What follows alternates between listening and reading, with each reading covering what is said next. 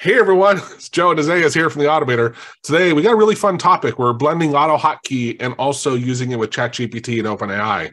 Uh, in this example, we're going to show you and also give you a link to get the R code for using the OpenAI's API calls. So this is simply, you know, browser call isn't technically an API call, but this is using the web service API call. And there's some really important things to realize about it. So make sure you stick around and watch the whole thing because there's some gotchas at the end that we want to make sure you understand. Yeah, that's right. And so let me show you real quick what I've got here. So if we go ahead and type, give me five words.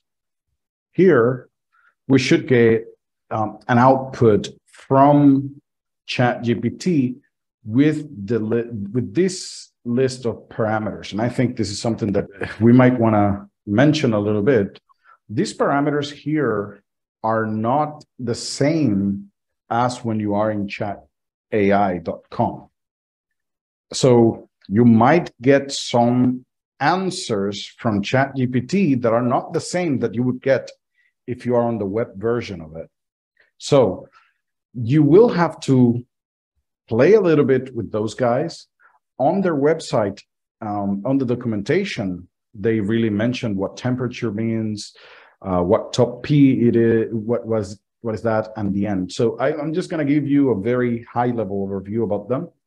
The maximum tokens has to do with the length of the answer and what you give it, and you have to be very careful with that one because um, as this is leveraging your token, your your ChatGPT token, you might get charged if you use too many tokens, right? So uh, I would rather have it in lower values if you don't, don't want to get charged too much.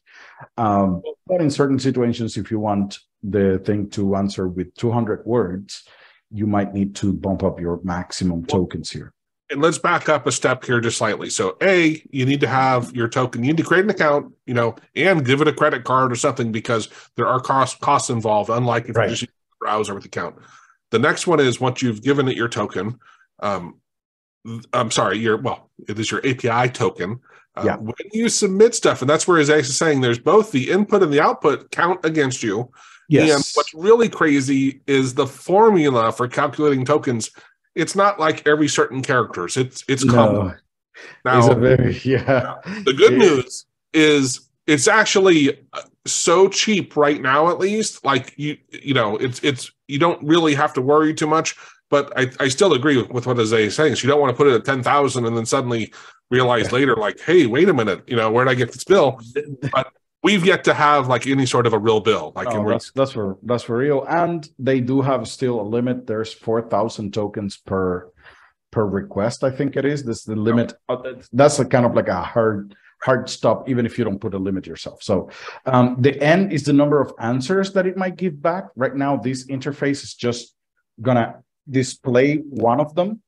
So this is not really uh, an option that is going to be too much flexibility because I only have one output here. If I had several windows, I could give you different answers, right? The temperature, this is the one that is a little bit interesting because uh, uh, a 100% is kind of like giving it freedom to be creative. So it, it, it might come up with new stuff, but sometimes you don't want that. Sometimes you want it to be factual. So you would lower the temperature. I think that's how it works. And um, it is between zero and one. So it's 0.2 is a temperature of, of 20% and so on. The same happens here with the top P. So this is, uh, is just a top percent.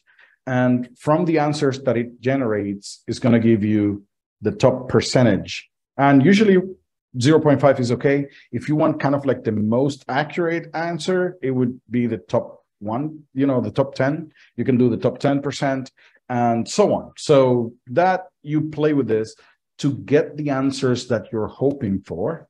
I wouldn't use the stream here because that's where it starts typing out the stuff I have it set up. I but the problem the, the, the point is I, I let it here so that you know it is available as an option in the API uh, library that we created.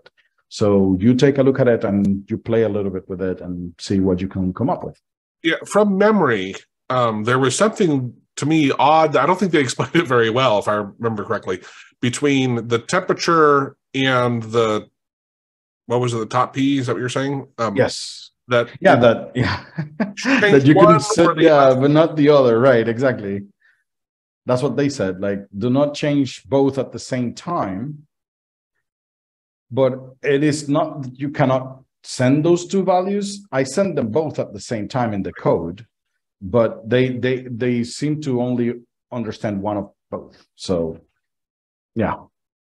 In any case, I think these other one can we yeah. go back to the the GUI? Yes. So here and let's demonstrate it. So um say please do this again. Please do this again. Now in ChatGPT in the browser, yeah. um, we would know what that would do, right? Right. But here it just answered, sure. The, and the it's not going to do it. is unfortunately, and I have no idea why, and maybe at some point we can figure out how there's a better way to do it. But there's no history, there's no context. They're independent of each other, unfortunately. Each input you are sending right now is independent of the previous one. There is no context. Now, there is a way on, because if you take a look at the code, I'm sending a, um, a JSON string with some information.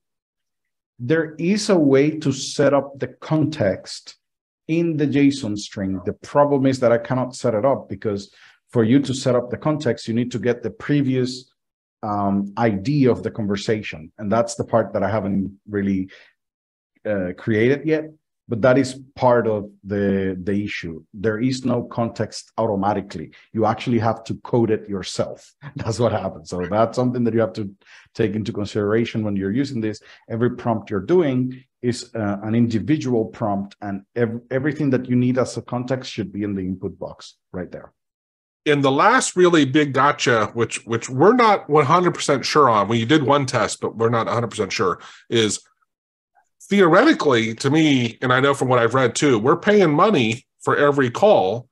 It shouldn't have a problem when the servers are really bogged down and busy. You should be able to do this. But one time when we went to, where we were using the browser and then we're like, oh, it's not running. Oh, we'll just use our API.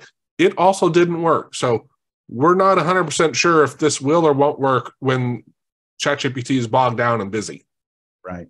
It probably means that we are probably separated from the free version somehow, but sometimes there might be a, a thing with ChatGPT that all of it is down. So uh, yeah, that's what I was thinking as well. Right. Yeah, I'm thinking that probably what we got was that they're yeah, growing like crazy. Service was down for everybody, is right. but we are somehow separated from the free version that probably um, we will not have some issues that a free person would have. Yeah. So let us know what you think. Are you using ChatGPT? Are you trying to use their API? I'll put a URL up with a lot of training on API calls, which we have a lot of um, webinars and videos, separate videos and stuff on them. Um, also, this tool we're giving you, it is in version two. So yes. we did just launch our, you know, painlessly transition to V2. This is a great time to start learning V2. So uh, in this code, it's in written in version two. So, you know, you might want to consider our course. I'll put a URL up here. It's on sale right now for half off. So you might want to check it out.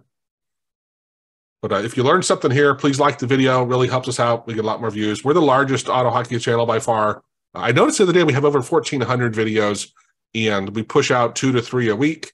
And um, also, don't forget to like uh, and subscribe because if you don't subscribe, you may miss out on some of our cool stuff that we're doing.